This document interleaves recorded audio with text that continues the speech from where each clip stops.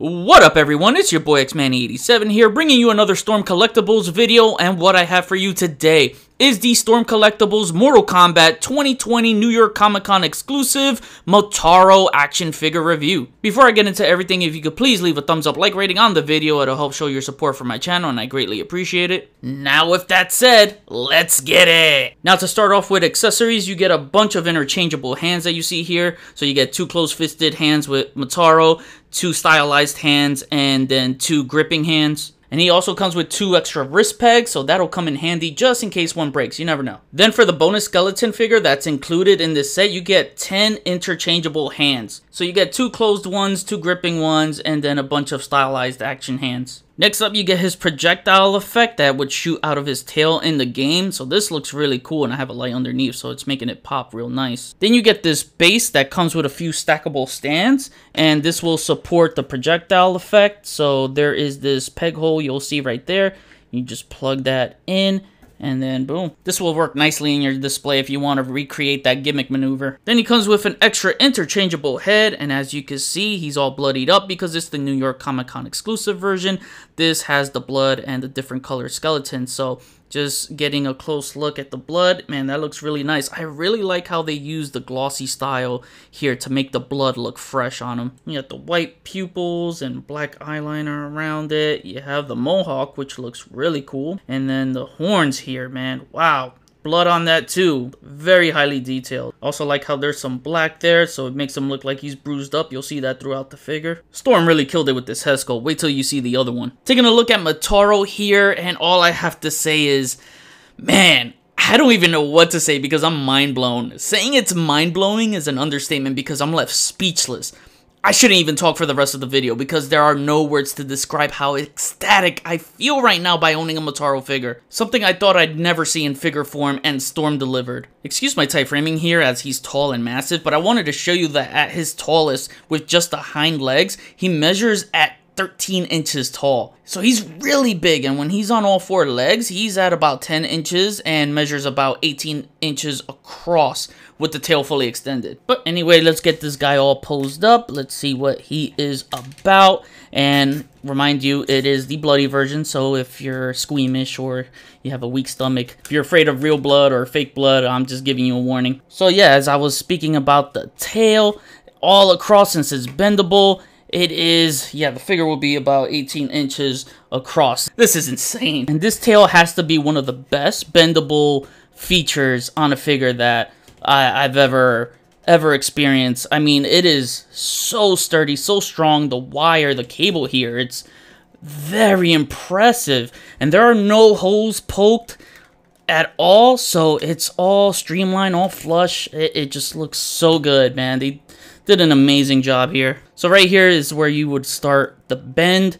I wish it was a little bit, you know, longer than that. Like right here would have been really nice but you know the tail does swivel the tail has a weak swivel i will say that it's i don't even know kind of, it feels kind of funky so i'm just gonna stop swiveling it from there if i need to turn his tail this way or this way I'll just point it in whatever direction I need it but you're gonna get a lot of use out of this tail because you could curl it if you want to trap enemies you know have them squeeze them to death or choke them out, whatever, really adds to the fun factor of this figure. Taking a close look at the second head sculpt, he's yelling, it looks fierce.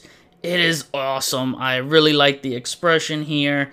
The tongue came out sculpted out nicely, even the teeth. Nothing is altered on the mohawk here. The other one had blood on it. This one doesn't. It's clean. You know, got some bruises right there. Blood splatter. So does the horns. Just an incredible face sculpt. Then taking a look at the rest of the body is a great sculpt here. Could have used maybe just a little bit more bulk, but honestly, I'm fine. It, it fits with everything else. And you get great sculpts on the muscles, you know, the chest, the arms especially too. These look really nice. And he's got some spikes right there on the forearm and the elbow. Like, that is really cool, and it's really sharp too. The back looks great too, very muscular, and they still use that pliable torso, so you know, you're still gonna get a lot of good range out of this guy. And if you do bend them forward using that ab crunch, you are gonna get a big gap right there, but that's kind of normal with Storm. Again, they want you to get the most range, but that's on the back, not so much the front. The most you'll get on the front is that kind of gap. And then looking at the legs, you know, and since he's a Centaurian, He, ugh, man, he has this centaur part of the body that's just amazing looking. This is definitely the highlight here. And it is surprisingly articulate. I'm just blown away with how Storm Collectibles can pull this off. And you got his armored underwear right there, or whatever the hell this is, because it's just, wow, it just keeps going all the way to his tail and even at the top. So this is like the longest thong I've ever seen. Just giving you a close-up look at the sculpt on the legs. These are great. Look at the veins bulging out right there and all across the legs. You're going to see that throughout. Really nice. Some blood splatter there. Oh, yeah, the heels right here. These spikes, again, they're sharp just like the arms. So you're getting them on all four legs. Then you got the shoes right there and the back legs.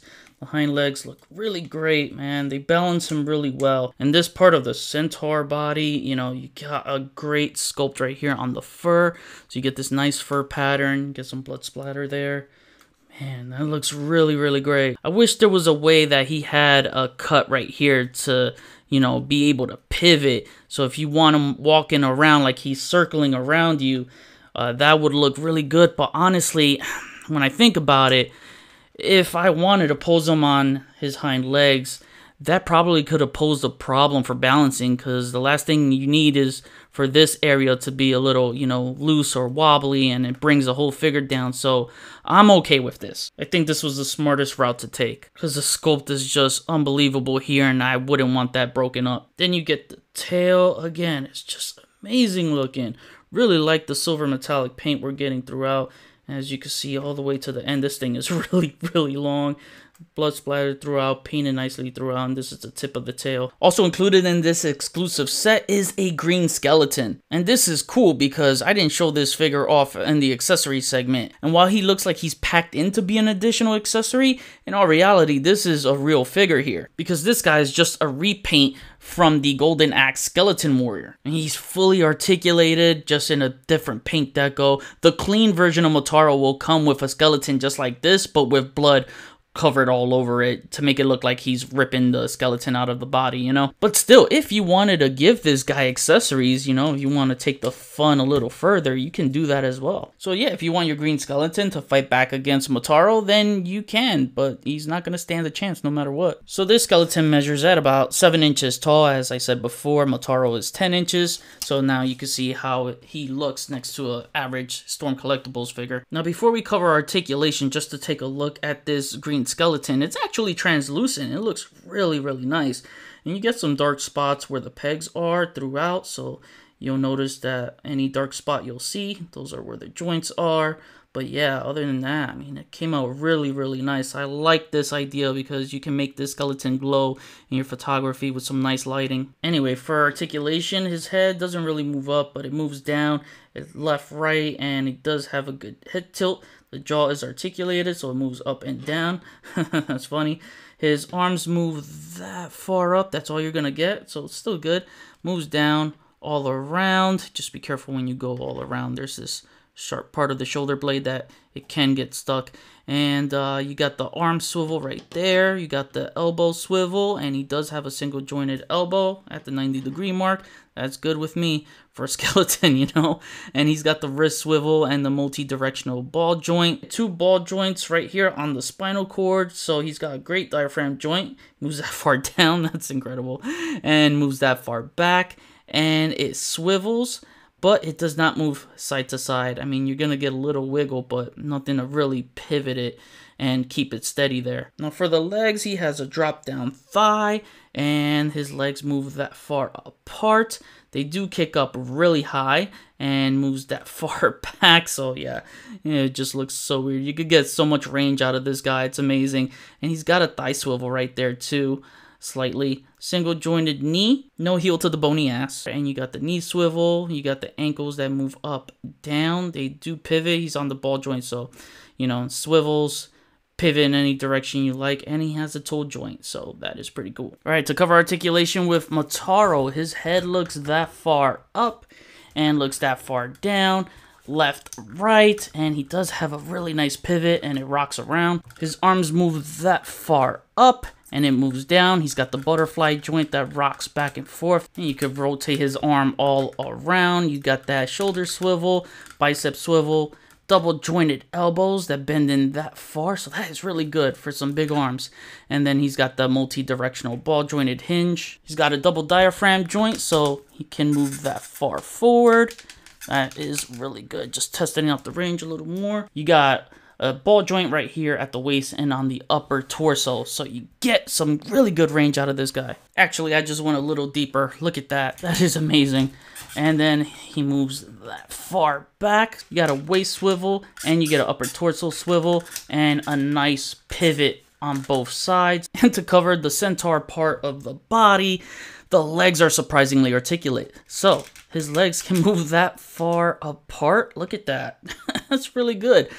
And the back legs will, well, they move in and out. So you do get that. It won't move as far apart as the front legs do, but still great movement. Then the front legs can move up that far and that far back, but you get these joints as well. So the upper thigh of this leg, as I guess you want to say, can move up that far. This part moves down really well, so you could get a good fold there and up. And with the ankles, got the ball joint, so it swivels up, down. His back legs move that far up front and that far back, which is really good because, you know, you got to stand them on his hind legs to get some nice poses. It does have a thigh swivel right here, as well as the front, I forgot to mention, so it does swivel there. Then at the knees right here, they bend in that far. Uh, the lower part of the legs can move up that far, back, and the same with the ankles, up, down, and they swivel and they kind of have a pivot. Then lastly, the tail, like I showed you before, it looks like it has a swivel, it just kind of really doesn't. But you have this whole tail that's bendable, so I mean, this makes up for it. And there you have it. That is Motaro, truly an amazing figure. And I just wanted to show you that he can carry the skeleton with just one hand. And he balances perfectly, so you can see he's in mid-air. But now let's kick it over to some comparisons. Now for some comparisons, here is Motaro next to another Mortal Kombat 3 character. We have the Bloody Edition Baraka. Here he is next to Lord Raiden. Here he is next to Cyrax and Ermac. Here he is next to the Big Bad Toy Store exclusive Sub-Zero and the regular Scorpion. Here he is next to the Emperor of Outworld, Shao Kahn, and had to save the best for last as the Centaurians and Shokans are rivals. Here is Motaro next to Prince Goro. Alright, and now to wrap things up, my final rating is a 10 out of 10. Total awesomeness. Storm can do no wrong. They're not one of those companies that say,